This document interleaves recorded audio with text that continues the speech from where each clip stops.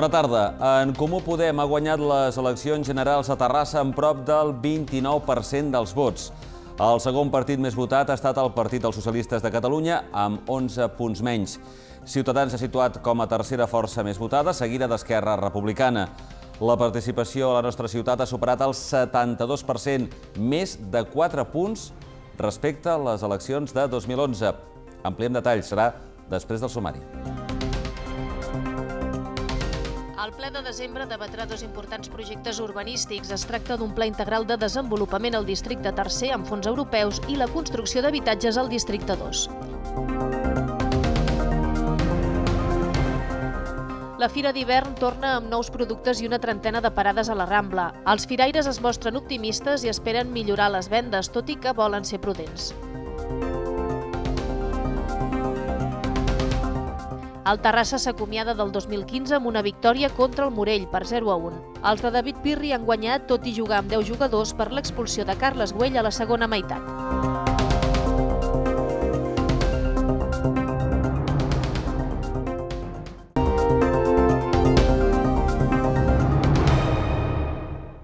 Amb la ressaca del dia després de les eleccions generals, toca fer repàs dels resultats i conèixer reaccions. En Comú Podem ha guanyat aquests comicis a Terrassa amb un 28,88% dels vots. El PSC se situa com a segona força, seguida de Ciutadans. El quart partit de la ciutat és Esquerra Republicana. Com el conjunt de Catalunya, a Terrassa en Comú Podem ha guanyat les eleccions generals. I ho ha fet amb molta claredat, avantatjant el segon partit, el PSC, amb més de 10 punts. La coalició d'esquerres ha aconseguit el 28,88% dels vots dels terrassencs, és a dir, 31.793 paperetes a les urnes. Un dels partits que integren en Comú Podem, Iniciativa per Catalunya Verds, no va arribar als 10.000 vots ara fa 4 anys. El segon partit més votat ha estat el Partit dels Socialistes de Catalunya, amb un 17,5%. Els socialistes han rebut 19.305 vots. Han perdut més de 10.000 votants respecte a les eleccions del 2011. És la primera vegada des de la restauració de la democràcia que el PSC no guanya unes eleccions generals a Terrassa. De fet, són els seus pitjors resultats. Ciutadans s'ha situat com a tercera força més votada amb un 15,22%, el que són més de 16.000 vots. No va concórrer a les darreres generals, per ho comparem.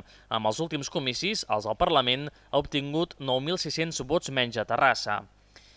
En quart lloc, hi ha Esquerra Republicana de Catalunya, que ha obtingut 14.200 sufragis, un 13% del total, pràcticament triplicant resultats respecte a fa 4 anys, una evolució en consonància amb el que ha passat al conjunt de Catalunya. El nou partit Democràcia i Llibertat ha tingut 12.300 suports, un 11,21% del total ha quedat en cinquè lloc, molt lluny del segon lloc de Convergència i Unió el 2011, quan va aconseguir el doble de vots que aquest diumenge. El Partit Popular és un altre dels partits que ha patit una notable davallada respecte a les darreres generals. El 2011 era la tercera força amb més de 20.000 vots. Ara ha quedat sisè i ha perdut pràcticament la meitat dels suports, amb 11.000 vots i un percentatge del 10%. Unió, que ha quedat fora del Congrés, a Terrassa ha tingut 1.483 vots, 8 més que el PACMA. La participació a Terrassa ha superat el 72%. Són més de 4 punts respecte a les eleccions de 2011. Per districtes, el primer és el que ha tingut més participació, seguit del districte 5è. Per barris, on més ha votat ha estat a l'antic poble de Sant Pere i on menys, a Vilardell. En aquestes eleccions generals han anat a votar a Terrassa gairebé 10.000 persones més que en l'anterior convocatòria del 2011. Concretament han exercit el seu dret a vot 110.571 persones, de les 153.985 que estaven convocades. Això suposa un percentatge del 72,28%, més de 4 punts per sobre de la participació del 2011, que va ser del 68,13%, amb 101.676 persones. Per districtes, el primer és el que ha tingut més participació, un 74,21%. A continuació, amb un 72,14%, trobem el districte 5. Els segueixen amb un 70,63% el districte 4, mentre que els districtes 6 i 3 registren un 69,12 i un 68,97% respectivament. Els barris del districte 2, amb un 65,87%, són les zones de la ciutat amb una participació més baixa.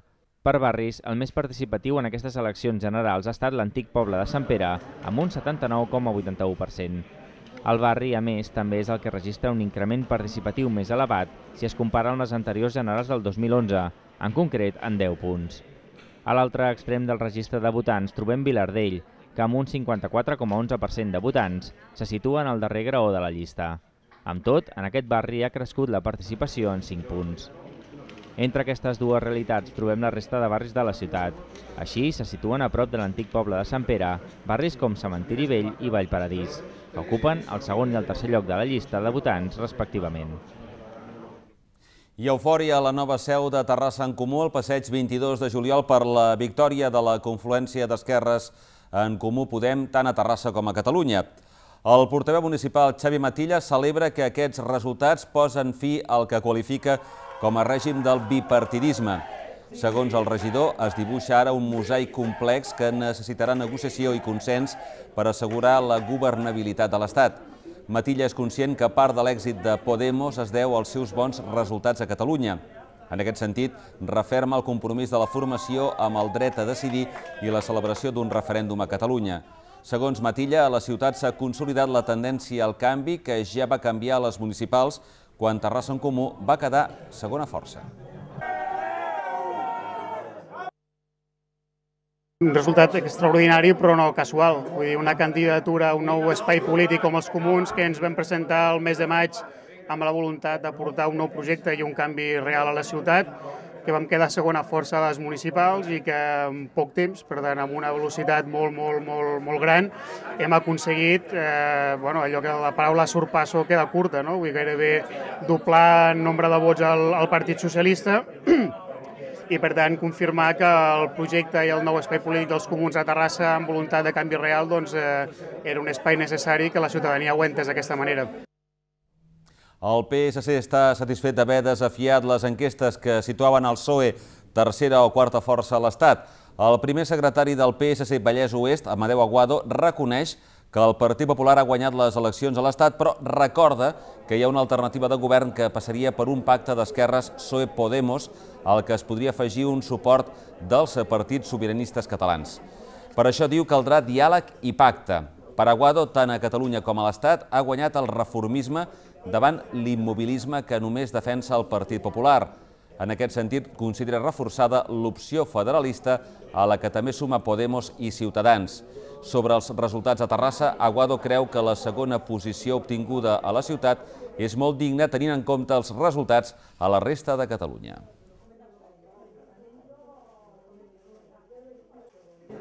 Nosaltres a Terrassa hem quedat segons, estem per sobre la mitja de vot de la mitjana de Catalunya i fins i tot de la província de Barcelona. O sigui, eh, tot i quedant segons, eh, a Terrassa doncs, hem aguantat, eh, hem fidelitzat eh, el nombre de vots. Bé, jo entenc que el model federal és el que porta Catalunya en comú, també. Eh, així ho han dit, així ho porten al seu programa. Entenc que el federalisme també n'ha parlat Ciutadans, i, i això implica reformista. Per això el que he dit abans, els partits reformistes cap al federalisme ara són molt més que no pas els immobilistes com el PP. Per la seva banda, els tres regidors de Ciutadans han destacat, per davant de tot, la irrupció del partit al Congrés amb 40 diputats i el trencament amb el bipartidisme, que era un dels pilars del partit. En clau local, la formació ha volgut fer valer la seva tercera posició i ha revalidat la idea del pluripartidisme, tot destacant els resultats obtinguts a la ciutat. Agraeixen a tots els seus votants el suport rebut i, en resum, qualifiquen d'exitosos aquests comicis. Hem consolidat la tercera posició a Terrassa, hem de constatar que els partits nous estan consolidant un espai nou, diferent i una alternativa de govern de cara al futur.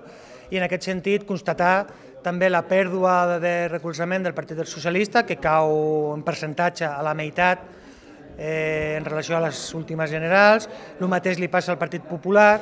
I jo penso que això és un exemple no, de, del camí del camí i, i sobretot de la disposició de la gent a trobar partits nous que ofereixen alternatives noves a lo de sempre. No? La formació local d'Esquerra Republicana s'ha mostrat d'allò més satisfeta amb els resultats obtinguts a Terrassa, ja que han més que doblat els vots en relació a les darreres eleccions generals. En aquest sentit, destaquen la caiguda del sistema bipartidista tant en clau estatal com local i reforcen la idea de la diversitat de forces polítiques de la ciutat. Amb tot, feliciten en Comú Podem per haver aconseguit ser la força més votada a Catalunya i a Terrassa. Estem veient com a l'estat espanyol el sistema de partits eh, preponderant des de 1978 eh, se'n va a Norris i de la mateixa manera estem veient com eh, el bipartidisme que tradicionalment havia imparat a la ciutat de Terrassa eh, entre el PSC per una banda i Convergència i Unió per l'altra també se'n va a Norris. Per tant, Terrassa en aquest sentit no és diferent eh, del que està passant al país, que és que anem a més representació de més forces polítiques però amb un element comú, que és que aquelles i aquells partidaris del dret a decidir tenen una majoria clara. Després de saber els resultats de les enquestes a peu d'urna, els representants locals de Democràcia i Llibertat han valorat positivament els resultats, ja que han estat millors del que preveien a l'inici de la nit electoral i creuen que han aguantat la posició tot i que no han aconseguit els resultats esperats. Tot i així creuen que els resultats eh, no han estat del tot bons, tampoc en clau local, i els assimilen amb les darreres eleccions municipals, tot assegurant que la irrupció de noves forces deixa el vot més repartit. Terrassa hem baixat, passa que encara no estem en condicions de valorar perquè, com veieu, encara no, no som prou gent, estan acabant de comptar i, per tant, els resultats de Terrassa encara hem de valorar, hem de mirar on hem perdut vots, on hem guanyat i, per tant, és complicat. Hem perdut, hem perdut posicions eh, respecte a les últimes, però vaja, s'ha de valorar el resultat. Tot i ser la sisena força a Terrassa, el Partit Popular no fa una lectura dels resultats del tot negativa. El seu portaveu, Gabriel Turmo, reconeix que en comparació al 2011 el resultat no és bo. Ara bé, considera que després de la davallada de les municipals, el PP consolida ara la remuntada iniciada a les eleccions del 27 de setembre. Turmo creu positiu haver rebut més d'11.000 vots a Terrassa, després d'haver governat quatre anys molt complicats de gestió de la crisi a l'Estat. Sobre la governabilitat, Turmo diu que li correspon al PP, que és qui ha guanyat i rebutja un govern alternatiu d'esquerres, però reconeix que caldrà diàleg i pacte, unes qualitats que retreu a Jordi Ballart no haver tingut a Terrassa. Però nosaltres la valoració que hem de fer i després de, dels últims dels resultats, del càstig que, que vam tenir a les municipals, a les, a les sigles, a l'inici de la recuperació de vot que es va produir a les autonòmiques, que en aquestes generals es consolida aquesta recuperació de vot. Estem ara pràcticament als 10.000 vots i d'una diferència que teníem de més de 16 o 17.000 vots amb Ciutadans, estem ara amb una diferència de 2 o 3.000 vots. Si comparem amb 2011 ja he dit que el resultat no és bo, però s'ha de tenir en compte aquests 4 anys, que han sigut anys molt complicats, de gestió de la crisi, de mesures que s'han tingut que adoptar en el seu moment eh, complicades, que ja va haver-hi un càstig a les nostres sigles i que ara estem en la, en la via de la recuperació.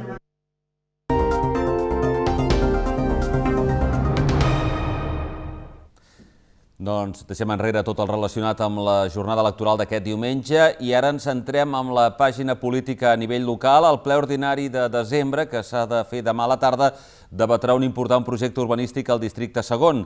També es tractarà la candidatura per optar a 7 milions d'euros dels fons europeus per a un pla integral de desenvolupament al districte tercer, així com l'aprovació de preus d'aparcaments i autobusos. El projecte urbanístic de construcció d'habitatges al sector de la Rioja, al barri de Vilardell. La presentació de la candidatura per optar a 7 milions d'euros dels fons europeus per a un pla integral de desenvolupament al districte 3, així com l'aprovació de les tarifes dels aparcaments i dels autobusos per l'any que ve i l'acceptació de diverses ajudes de la Generalitat per a les escoles municipals de música i d'art. Aquests són alguns dels temes que se sotmetran a debat en el darrer ple ordinari de l'any. La sessió, que se celebrarà aquest dimarts, també tractarà com a dictamen en l'ordre del dia un pla per la millora de l'atractivitat d'inversions estrangeres a Terrassa a proposta de Ciutadans. Pel que fa a les propostes de resolució, n'hi haurà cinc. Terrassa en Comú en presenta dues. La primera, retirada de l'anterior ple, demana un programa d'actuació municipal obert, participatiu i transparent. La segona vol donar suport als afectats de síndromes de sensibilització central. Ciutadans planteja assumir un compromís de regeneració municipal i el Partit Popular garantir la reparació de desperfectes a la via pública en un màxim de 72 hores. Pel que fa a la CUP, proposa la supervisió del reglament i el funcionament de la Sindicatura Municipal de Greuges. A banda del ple ordinari, aquest dimarts també se celebra el ple extraordinari de pressupostos. El projecte de pressupost consolidat de l'equip de govern és de 199,5 milions d'euros. Canviem de tema, la Fira d'hivern torna amb nous productes i força optimisme entre els paradistes. Una trentena de parades s'ubiquen des del portal de Sant Roc fins al Mercat de la Independència. Els firaires es mostren optimistes i esperen millors resultats, tot i que volen ser prudents. Des d'aquest cap de setmana ja es pot visitar la Fira d'hivern, que per cinquè any consecutiu s'ha tornat a instal·lar a la Rambla d'Ègara, consolidant així aquesta ubicació. En total, una trentena de parades s'emplacen des del portal de Sant Roc fins a l'alçada del Mercat de la Independència, de les quals 12 són d'artesans terrassencs. Així doncs, la majoria dels paradistes venen d'arreu de Catalunya i cada any van canviant amb l'objectiu d'oferir productes diferents i trencar amb la monotonia nadalenca. El que passa que encara que siguin els, mateixos artesans, el que fan és cada any també adaptar els seus productes a l'any, no? Llavors el que fas és no repetir també les coses que fas. Per exemple, qui treballa fusta, doncs un any fa unes coses, l'altre any en va fent unes altres, vull dir que dins dels diferents oficis també el que es tracta és d'anar-se renovant els fireires es mostren optimistes i esperen millors resultats que els anys anteriors, malgrat que prefereixen ser prudents i valorar-ne el resultat més endavant. Amb tot, destaquen que l'actitud de la gent sembla molt més activa que en les darreres edicions. El que és la campanya de Nadal encara és d'hora dir-ho perquè comencem ara. Sí que és veritat que en fires que hem estat al pont d'ara de la Puríssima, per exemple, doncs sí que es, es notava una certa milloria, no? Per almenys la gent, hi ha molta gent pel carrer, la gent s'interessa i sembla que sí, que hi hagi una altra actitud. Paral·lelament, tots els dies a les 6 de la tarda s'ofereix xocolata calenta i actuacions itinerants de pallassos per a la canalla. El Mercadal de Martí Lomal, tradicional dels dimecres, ha aprofitat per obrir el darrer diumenge abans de Nadal. Els paradistes han volgut augmentar les vendes abans de les festes. El temps, però, no ha acompanyat i els comerciants destaquen que no ha estat un dia per omplir els calaixos. Aquest ha estat el darrer diumenge que els comerços podien obrir abans de festes i, per tant, el darrer per enllestir les compres de Nadal. Aquesta jornada de comerços oberts també s'hi ha volgut sumar al Mercadal de Martí Lomà, que a banda d'obrir els dimecres com és tradició, els paradistes han pogut augmentar les vendes un dia més. El denominador comú de totes les parades han estat els preus i és que la majoria dels comerciants han aprofitat per abaratir els productes i facilitar així les compres. El temps, però, no ha acompanyat massa i els comerciants han destacat que no ha estat un dia per omplir els calaixos. Para mí es que hay, como está todo abierto, los centros comerciales, todo eso pues la gente se reparte. Porque otros años ha ido bien, pero hoy no sé por qué, si es por el día o no lo sé, todo influye, però bueno, aquí estamos. Per a molts terrassencs que han passejat aquest diumenge pel Mercadal, aquesta ha estat una oportunitat per enllestir els regals d'última hora, sobretot per a aquelles persones que entre setmana treballen i no poden acostar-s'hi els dimecres. A mi me va bien porque como yo trabajo en la semana, pues poder venir y, y comprar y ver también lo que hay, pues la verdad que me va bastante bien. Amb tot, el proper dimecres encara es podrà visitar el Mercadal tot just dos dies abans de Nadal i trobar els mateixos productes a molt bon preu. La recollida de joguines de Creu Roja ha sumat un petit impuls. Els centres Terrassa Esport Dance i Street Dance han celebrat diumenge una jornada de dansa i gimnàstica al recinte firal i la zona esportiva de Can Jofresa. El cost de l'entrada era una joguina per persona. Que cap nen terrassenc es quedi sense joguina és el principal objectiu de Creu Roja per a aquestes dates. Durant tot el mes de desembre i fins al dia de Reis, l'entitat recull joguines per abastir més de 2.000 famílies a Terrassa. Per donar un petit impuls a la recollida, els centres Terrassa Esport Dance i Street Dance han celebrat aquest diumenge una jornada de dansa i gimnàstica al recinte firal i a la zona esportiva de Can Jofresa, on l'entrada ha tingut un cost d'una joguina per persona.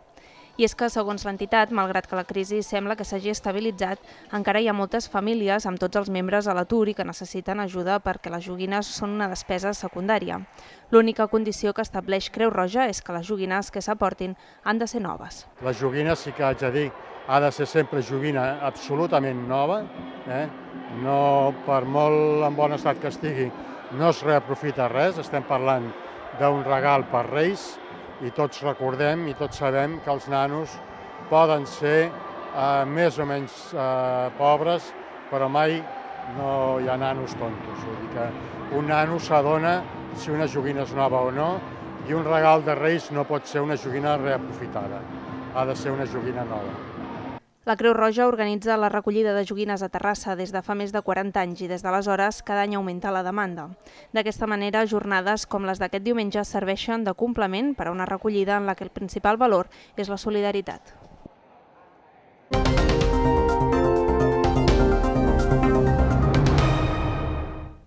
El Terrassa Futbol Club ha acomiadat l'any de la millor manera possible, amb una victòria mínima, justa però necessària. 0-1 aquest dissabte al camp del Morell. Un triomf gràcies a un gol de Jou que fa que el Terrassa ara mateix se situï a només un punt de les places de promoció d'ascens.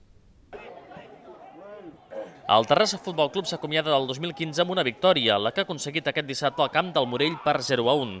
Tres punts que permeten als de David Pirri compensar la golejada encaixada a Granollers i així no despenjar-se de la zona de play-off d'ascens.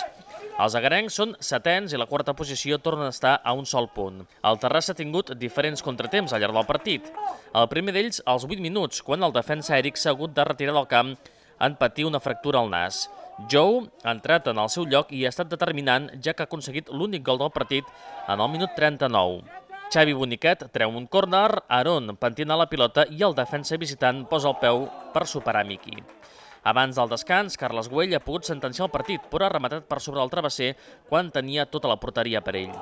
A la represa, el Morell ha sortit a buscar la victòria, però s'ha trobat un Terrassa molt ben posicionat en defensa i amb un Barragán que ho aturava tot. A més, els de David Pirri han mantingut la concentració quan s'han quedat amb 10 jugadors, en veure Carles Güell dues targetes grogues en un sol minut. Maldonado i Boniquet han tingut a les seves botes l'opció d'ampliar les diferències. La Lliga s'atura fins al 3 de gener. El primer partit de l'any per al Terrassa serà contra el líder, el Prat, a l'Olímpic.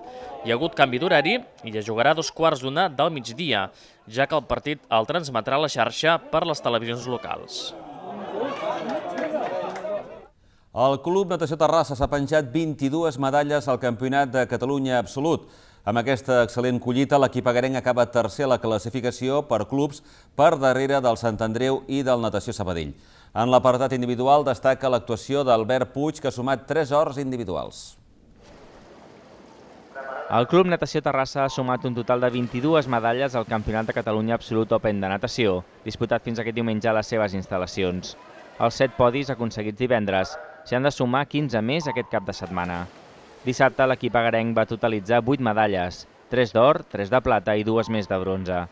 De les victòries, dues van ser en proves individuals. Concretament van correspondre a Albert Puig, el 100 papallona, i a Juan Francisco Segura, els 50 lliures, aturant el crono amb el mateix temps que Juan Mirrando. El tercer or va ser per al relleu masculí dels 4 per 200 lliures. A la jornada d'aquest diumenge, el Club Natació Terrassa s'ha penjat 7 medalles més, dues d'or, 4 de plata i una de bronze. Els dos triomfs han estat per Albert Puig, que s'ha emportat el seu tercer or individual en aquest campionat, en imposar-se en la final dels 200 metres estils. L'Agarenc, amb un temps de 2.01.81, ha establert un nou rècord del campionat. Amb aquesta victòria, Puig s'ha adjudicat també el Memorial Jaume Cardellac. Hem fet una bona actuació, no, no només individual, sinó conjunta. Eh, L'objectiu era fer podi a la conjunta i bé, molt bé. Després, a la part individual, també molt content. El segon or de la delegació agarenca en aquesta jornada ha arribat en el relleu masculí del 4% metres estils. L'excel·lent actuació de l'equip agarenc ha quedat reflectida també en les 23 places de finalista A, que han permès als anfitrions acabar en tercera posició per equips amb 2.520 punts. Muy satisfechos. El, el, el, el broche hubiera sido quedar en la clasificación segundos, que lo hemos estado luchando hasta la segunda sesión, que sacamos a saber 10 puntos, pero bueno, al final eh, por un, una horquilla muy pequeñita hemos quedado terceros, mucho mejor que el año pasado. Estamos en diciembre y parece que el proyecto tira, tira hacia adelante, eh, mucha más gente joven nadando, de 31 personas hemos participado 47, mu muchas mejores marcas personales y sobre todo nadando mucho más rápido que el año pasado en febrero, que fueron dos meses después. La victòria ha recaigut en el Sant Andreu, mentre que el Club Natació Sabadell ha finalitzat en segona posició. Doncs bé, amb aquestes imatges eh, tanquem l'informatiu. Gràcies per acompanyar-nos durant tota aquesta estona. Recordin, poden seguir, com sempre, l'actualitat a través de Canal Terrassa, per la ràdio municipal i per internet, per les xarxes socials i també pel portal terrassadigital.cat. Bona tarda.